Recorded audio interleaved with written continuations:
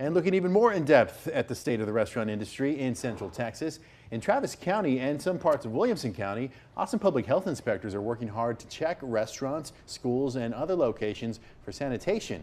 In 2023, APH completed more than 7,000 inspections.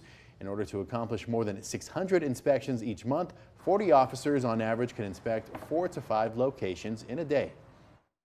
We want to make sure that our inspections are not quick and easy and that they are being very thoughtful about our inspection. So sometimes they can take longer, sometimes they can be really fast. It just depends. It just depends. And so that can kind of back up or speed up the amount of inspections that we do. It just depends on on the place. And the best way to prepare for a health inspection is for a restaurant to review any violations listed in a previous report from APH. They can also educate themselves by reading over the FDA food code as well as Texas state and local codes.